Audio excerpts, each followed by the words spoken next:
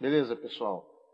No vídeo de hoje, estarei falando para vocês a respeito do comando retângulo, que ele é utilizado para fazer os retângulos aqui no AutoCAD.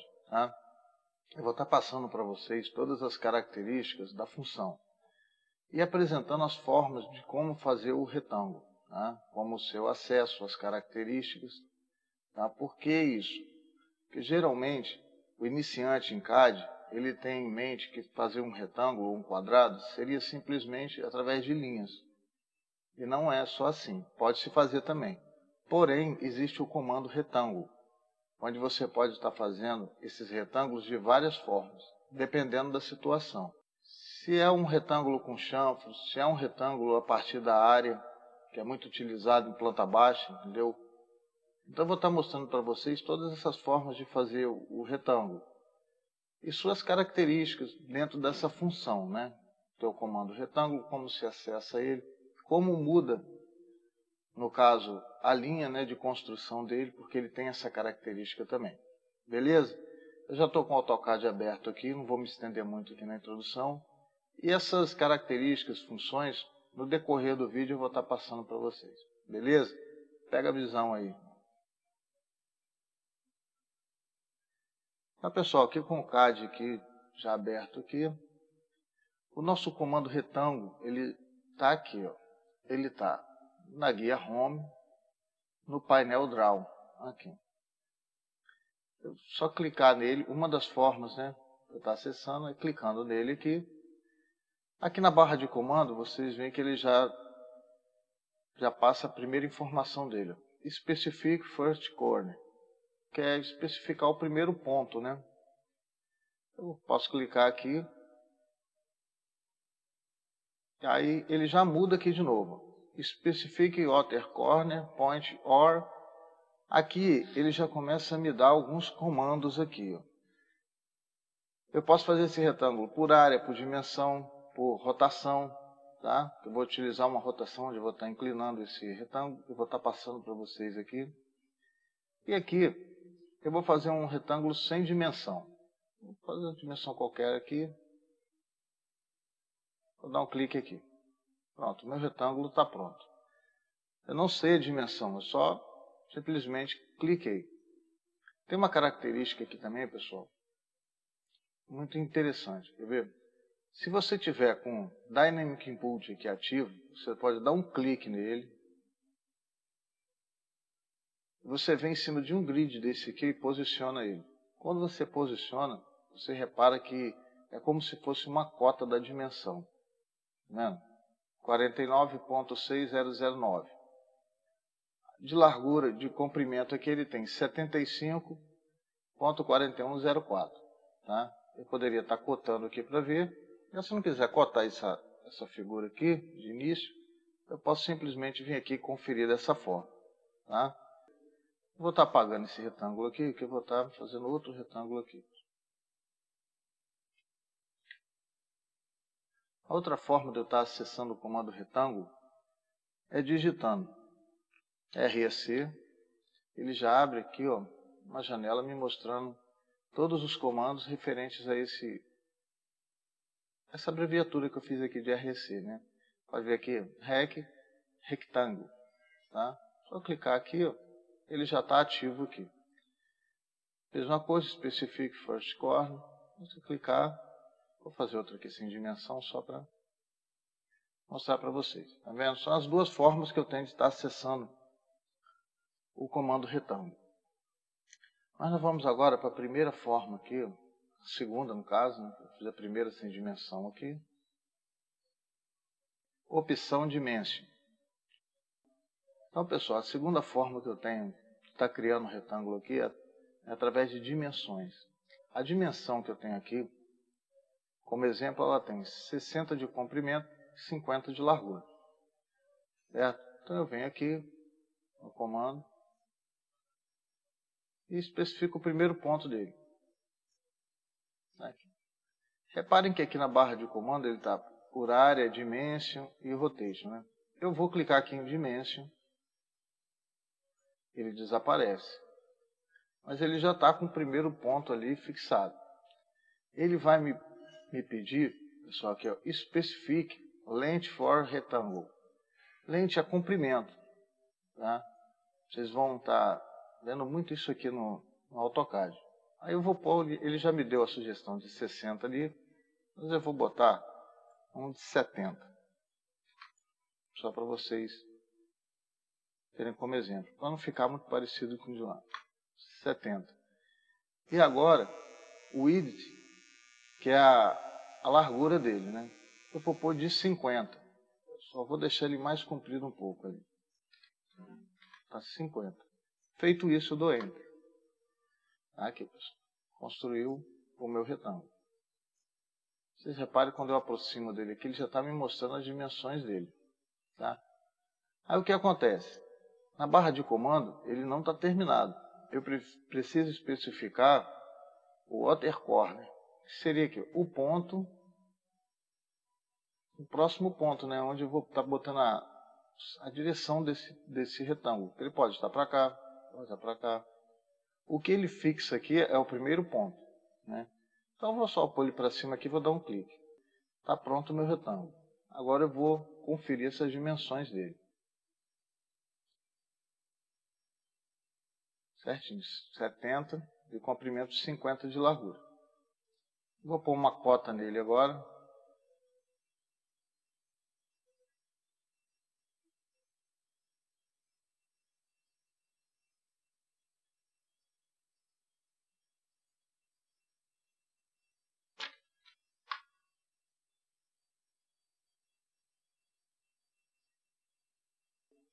Está aí as dimensões que eu digitei. Primeiro, o comprimento.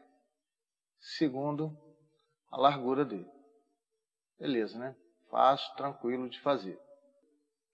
A próxima forma de estar tá construindo um retângulo, que eu vou estar tá apresentando a vocês aqui, é por dois pontos e coordenadas. Essas coordenadas, pessoal, são coordenadas relativas, tá? Que eu vou utilizar. Porque se for absoluta, ela vai vir aqui, vai partir daqui da origem, né? Do x e do y.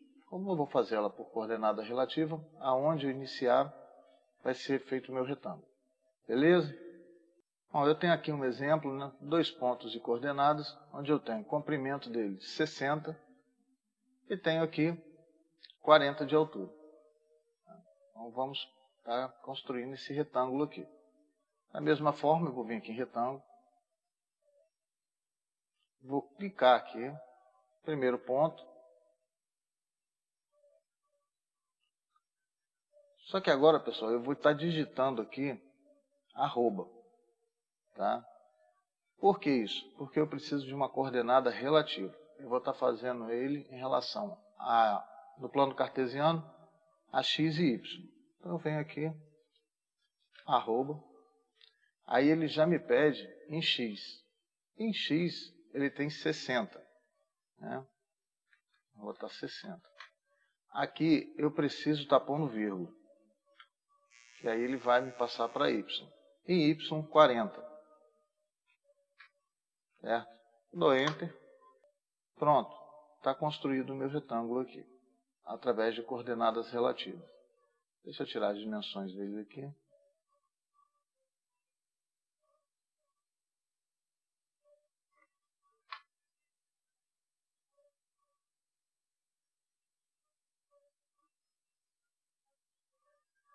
Beleza? Outra característica aqui, pessoal, das coordenadas relativas. Se eu tiver um Dynamic Input aqui ativo, como ele está aqui, eu não preciso estar tá digitando arroba. Tá? Porque ele já entende que a coordenada é relativa e não absoluta. Vou dar um exemplo para vocês aqui. Vou fazer ele de novo aqui do lado. Então, pessoal, eu vou estar tá agora construindo um retângulo aqui através da coordenada relativa, mas não vou estar digitando arroba. Beleza? Vou vir aqui de novo, no comando, clicar,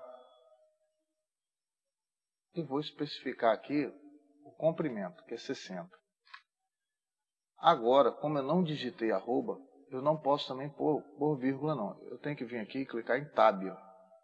Quando eu clico em Tab, ele já me pede a coordenada em Y, né? que seria a largura dele. Vamos pôr aqui uma largura um pouco a mais. Ó. Pode ver que ele vai calcular 52. Vamos pôr com 50. Só para modificar um pouco. E é só dar Enter. Tá? Conferir aqui. Vem aqui, ó. Tá vendo? 60 de comprimento, 50 de largura. Tá? Essas duas formas aqui, que eu mostrei a vocês, é com a coordenada relativa e dois pontos. Próxima forma, pessoal, de estar construindo o retângulo é através da área. Tá? Você pode ter a área e o comprimento, ou pode ter a área e a largura. Né? Bom, já estou com um exemplo aqui. Repare que eu tenho uma área, 3.600 metros quadrados. Né? No caso aqui tem metros, se fosse milímetro seria milímetro ao quadrado, centímetro ao quadrado. Tá? E reparem também que eu só tenho o comprimento. Tá? Eu não tenho essa altura dele aqui, né? a largura. Mas o que acontece? A fórmula de, da área, área é igual comprimento vezes altura. Como eu não tenho altura aqui, mas eu tenho a área, o CAD vai fazer esse cálculo para mim e já vai me dar o comprimento aqui ó, do meu retângulo. Tá? Vou estar mostrando para vocês aqui. Clicar aqui no retângulo. Especificar o primeiro ponto, mesma forma ele modifica aqui a barra de comando. Reparem que aqui eu tenho a área. Eu vou clicar em área. Quando eu clico aqui em área, pessoal, ele me pede a área do retângulo. Tá? Caso aqui eu tenho a área. Eu vou botar ali 3.600. Vou dar Enter. Aí ele me pergunta aqui. Eu vou fazer através do lente, do comprimento, ou do edit, que seria o, a largura, né, a altura dele. O que eu tenho aqui? Eu tenho o comprimento desse retângulo. Não pode confundir isso aqui não, tá? Se você botar aqui, modifica. Esse comprimento vai parar aqui em altura. E ele vai ter que recalcular o comprimento dele aqui, a base. Tá? Isso aqui numa planta, você vai mudar a característica física do terreno. No desenho, tá? Então vem aqui, ó, eu tenho lente. Aí ele pede para me digitar o comprimento. O comprimento dele é 60, certo? Eu só dar Enter. Está aqui o meu retângulo pronto. Deixa eu fazer aqui o a cota dele para vocês verem. Ele tem 60 aqui. Vamos ver quanto ele tem aqui de comprimento agora. Quanto ele tem de largura aqui no caso. Porque essa fórmula tem que bater. 60. Né? 60 vezes 60, podem fazer na calculadora aí, se quiser, 3.600, que é o um metro quadrado aqui. Tranquilo? A nossa próxima forma de estar tá construindo um retângulo, pessoal, é com chanfro, né? Dimensão e chanfro. Eu vou estar tá chanfrando aqui, ó, tirando essas quinas aqui do nosso retângulo. Beleza? Então, pessoal, já tem aqui ó, a modelo aqui, né? Vocês reparem que ele tem aqui ó, um comprimento. Essa parte aqui para essa aqui, né? Que seria o comprimento dele. Mas aqui do chanfro, daqui para cá, ele tem 10 e de altura aqui, ó, ele tem 5, né? A parte que foi retirada do chanfro para ele entrar aqui. Então eu vou estar fazendo para vocês aqui, mostrando como se faz isso aqui. Essa, esse chanfro aqui ó, no retângulo. Tá? No caso, o CAD, ele, a dimensão que você vai pôr é dessa daqui, ó, no canto superior esquerdo, tá? E vocês vão reparar que ele vai girando o retângulo. Aqui a parte do comprimento está em 10. Aqui vai estar 5 e a parte de baixo vai estar em 10. Aí embaixo aqui, ó, ele vai estar da mesma forma que esse. Aí aqui vai estar girando. Ele fica um pouco disforme. O que acontece? Eu, no caso, não utilizo assim não. Por quê? Eu tenho aqui, ó, na minha Modify aqui, eu tenho os comandos aqui, ó. Fillet, chamfer, né? o comando de curva, né? É o blend curves. Então, eu não utilizo não, mas eu vou mostrar para vocês que às vezes, né, vocês possam estar utilizando. Beleza? Então, pessoal, eu vou estar criando aqui um retângulo com, com chanfros, né? Vocês vão ver aqui no comando, retângulo, né? Antes de clicar em qualquer ponto, você já define aqui. Repare que eu tenho aqui, ó, chanfer. Ele vai me pedir para me especificar o primeiro chanfro, né? Que seria a distância do retângulo ali, o comprimento dele que ele vai me passar lá no córner superior esquerdo, né? No comprimento dele lá em cima, tá?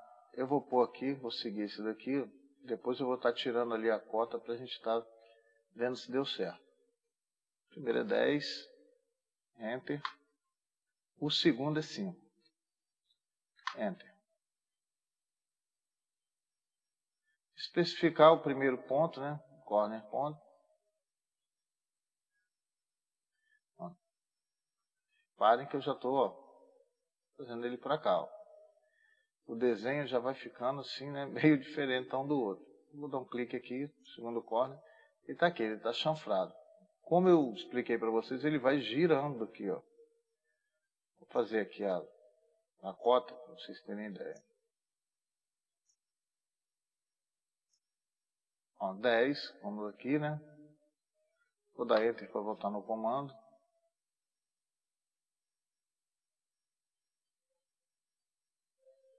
E para cá 5. Quando eu fizer aqui, vocês reparem que vai mudar, vai ficar o de cima 5 e o de baixo 10. Vou estar pondo a cota aqui também, pessoal, para vocês verem como ele gira aqui. Ó. Ele já, aqui já muda esse chão.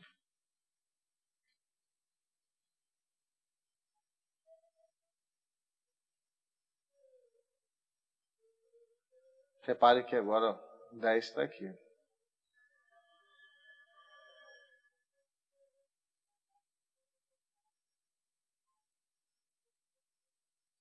Tá? Beleza? Outra característica aqui. Se eu voltar o comando aqui, ó, retângulo de novo, reparem o que vai acontecer. Ó. Ele vai estar tá com chanfro. Eu não quero isso. Tá? Vou sair aqui do comando. O que acontece? Eu tenho que zerar esse comando. Tá? Eu vou clicar de novo aqui em chanfre, né? Cliquei aqui no comando, retângulo, cliquei em chanfre. Aí ele vai me perguntar o primeiro chanfre, eu vou pôr zero, enter, zero, enter. Beleza? Quando eu fizer, ó, tá? ele já não vai ter mais o chanfre. A próxima forma de construir o retângulo aqui que eu vou estar ensinando a vocês é o fillet, né? Seria as formas assim, abauladas, os cantos abaulados. Ó. Tem o comando dele aqui, mas nós vamos estar fazendo aqui através do próprio retângulo. Bom, pessoal, já estou com meu exemplo aqui. Dois pontos e coordenadas com fillet. Eu tenho um comprimento de 60, uma largura de 40 e um raio aqui de conformação de 10. Beleza? Então vamos lá. Aqui ativar o comando retângulo. Antes de eu marcar o primeiro ponto, né, eu venho aqui ó, em fillet, porque ele vai me perguntar qual é o raio de conformação. Vou pôr 10, vou dar Enter. Agora eu vou marcar o primeiro ponto. Vou marcar ele aqui assim. Vou marcar porque ele vai me pedir as dimensões, né? E aqui agora eu ponho as coordenadas relativas nele. Arroba Vou passar a coordenada em x, que é 60, vírgula, e y, que é 40. Agora eu posso dar Enter. Viu, pessoal? Tá aqui, está pronto. Eu vou mostrar para vocês agora, que deixa eu posicionar aqui, ó. Repare que aqui ele está me mostrando aqui, ó, a conformação que está em 10, né? Eu vou ter que estar tá cotando ele aqui para ele mostrar. Por causa dessa. Sempre que eu posiciono aqui, ó, que ele já me mostrou 40 de comprimento entre as conformações. Se eu pôr aqui, ó, porque o nome ficou em cima, deixa eu mostrar aqui. Ele vai me mostrar aqui 20, não é 20, porque ele está tirando 10 de conformação. Então deixa eu estar tá cotando ele aqui, para nós termos uma, uma visão melhor disso aqui. Não vou cotar aqui, pessoal, nós termos uma, uma ideia do comprimento aqui e da altura dele, né? Como eu faço aqui agora? Se eu tocar por aqui, pessoal, não vai dar aqui, aqui, ou ele vai dar 20, porque ele tem 10 de conformação aqui, 10 aqui, é inteiro os 40. Então, para mim aqui não interessa. Eu tenho que pegar aqui, do outro lado aqui, ó, né?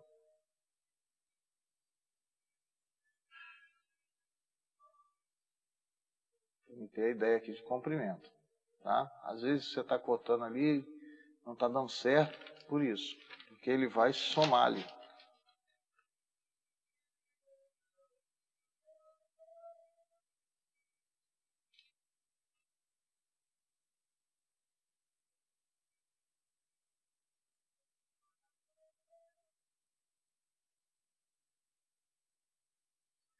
Então eu tenho um retângulo de 60 de comprimento, 40 de largura, feito por dois pontos, em coordenadas relativas. Beleza? Ele também, assim como o retângulo que tem um chanfer, vocês têm que estar tá zerando ele de novo. Porque se você vier fazer outro retângulo aqui, ó, ele vai trazer as mesmas características. Tá vendo? Então eu preciso estar zerando clicar aqui, tem que vir aqui em chanfer. E aqui eu tenho que pôr o zero. Eu tenho que zerar aquele raio. Tá? Isso eu vou fazer agora.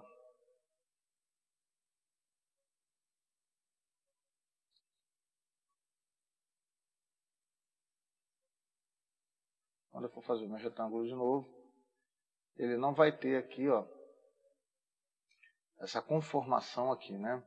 Seria o fillet próxima forma de estar fazendo um retângulo que eu vou estar mostrando aqui a vocês é o rotation, né, que eu vou estar rotacionando esse retângulo, está inclinando ele aqui a partir de um ângulo, beleza?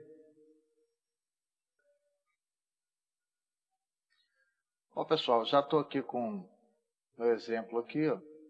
Vocês reparem que o meu retângulo ele tem uma área de 2.500 metros quadrados, ele tem um comprimento de 80 metros aqui. E o que acontece? Ele tem uma inclinação aqui, ó, na horizontal, a partir da horizontal aqui, do plano horizontal, de 30 graus. Tá? Aí como eu faço para estar tá construindo esse retângulo? Eu vou ativar aqui, função retângulo. Reparem que ele me pede agora o primeiro ponto, ó. Eu não tenho aqui, ó, nada que me que me submeta a fazer esse retângulo, como área, inclinação, nada, não tem nada aqui. Então eu vou clicar, como ele está me pedindo para especificar o primeiro ponto, né? Eu vou especificar ele aqui. Agora a minha barra de comando mudou. Eu posso fazer rotação, dimensão e área. Primeiro, rotação. Ele me pergunta qual é a rotação que eu quero pôr esse triângulo, especificar a rotação. Vou botar 30 aqui. Tá? Beleza. 30, tranquilo. Agora, ele me pede especificar o próximo corner aqui. Só que aqui eu não tenho a dimensão. Eu posso fazer por coordenada, só que eu não tenho aqui. A coordenada precisaria do Y aqui. E seria uma coisa inclinada aqui. Muito complicado de fazer. Eu vou fazer ele por área, então. Eu vou vir aqui em área ele já me sugere ali, né, porque eu fiz antes aqui, ó, 2.500 metros quadrados, vocês podem estar digitando 2.500, área. Ele me pergunta, é comprimento ou é largura? Comprimento que eu tenho ali de 80, né? 80. Tá aqui, eu construí o meu, meu retângulo com uma inclinação.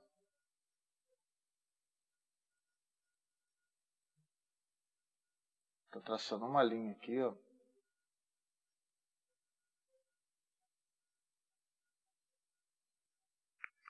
Onde vou estar tá tirando essa cota aqui, ó, para mostrar a vocês.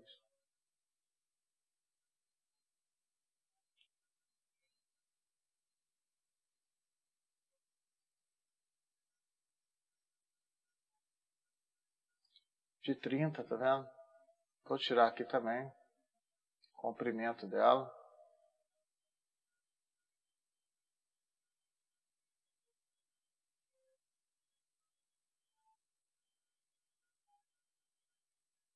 Aqui, ó, ele está dando errado, porque ele está dando ela é inclinada, tá vendo? Vou ter que tirar esse comprimento inclinado aqui, ó.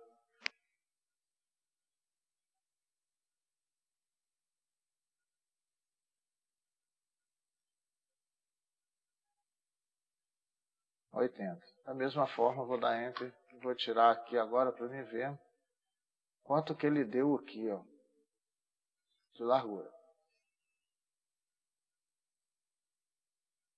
que é, que é base vezes altura. 31,25. Porque se fosse 30 aqui, seria 2.400, né? Aí esse 1,25 vai completar para chegar aos 2.500, porque é vezes 80.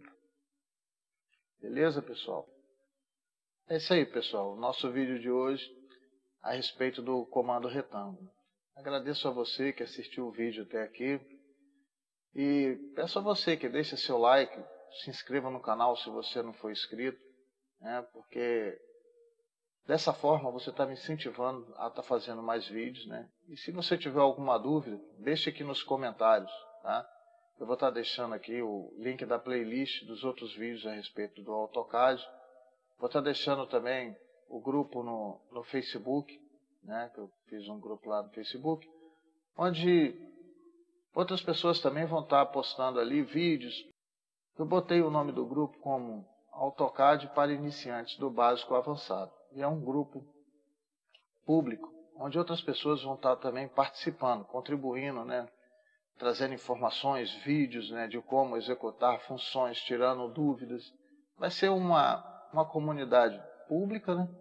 onde nós, vamos, nós estaremos interagindo. Eu vou estar postando alguns vídeos meus lá, outras pessoas também mandando links né, de, de módulos, né, de, de desenhos, de plantas, às vezes até trocando ali informações sobre emprego, né, que na internet sempre tem alguém pedindo para fazer uma planta, alguma coisa.